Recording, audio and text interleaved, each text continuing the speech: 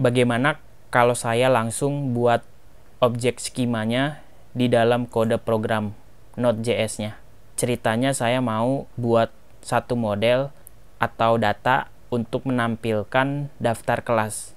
Untuk itu kita akan buat data collection namanya kelas untuk disimpan ke dalam database MongoDB.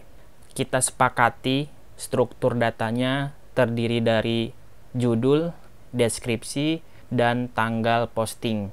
Oke, kita mulai ngoding. Yang pertama, di bagian paling atas, kita impor objek skemanya yang didapatkan dari Mongos. Lalu kita sudah bisa menggunakan objek skema itu untuk membuat susunan skema terkait data kelasnya dengan menggunakan keyword new, skema, kurung buka, kurung tutup.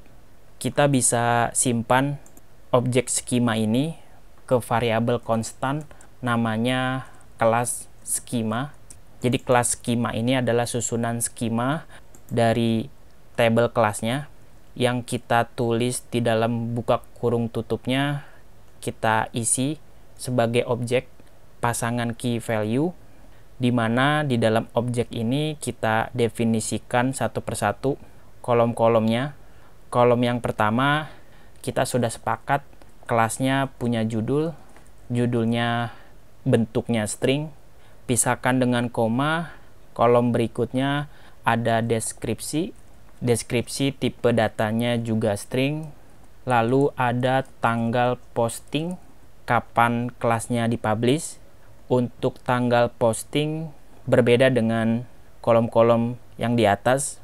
Kita berikan saja dua opsi yang mau saya tentukan yang pertama tentu tipenya tipe tanggal itu kita bisa tulis date lalu ada nilai defaultnya defaultnya itu kita bisa tulis date now artinya tanggal posting ini akan secara otomatis berisi tanggal kapan data ini dibuat. Pada kasus ini adalah tanggal hari ini.